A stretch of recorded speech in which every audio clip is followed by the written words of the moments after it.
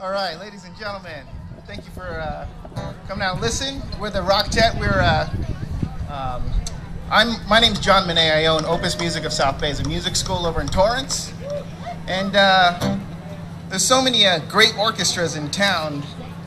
Um, but we decided we should do something a little bit different. So we're doing a lot of rock and roll, specifically 80s hairband music. So, um, oh, except for the first one, we're gonna. This is kind of 90s, I guess. but uh, just get started. We're gonna play some Viva La Vida. Ready? How about it, ladies and gentlemen? Put your hands together. Let's hear for the Rocktet.